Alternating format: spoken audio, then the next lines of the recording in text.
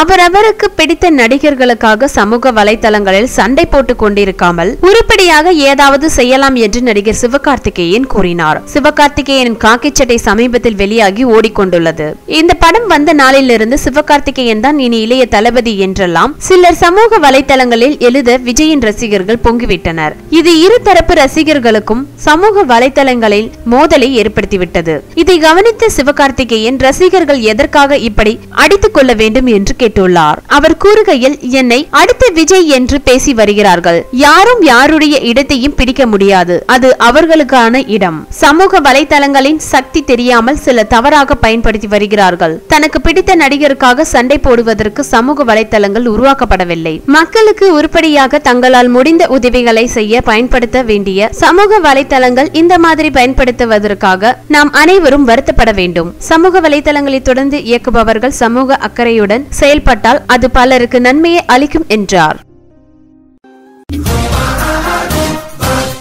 மீண்டும் ஒரு புத்தம் புதிய தகவல் மற்றும் செய்திகளுடன் சந்திப்போம். மேலும் செய்திகளுக்கு W W dot dot com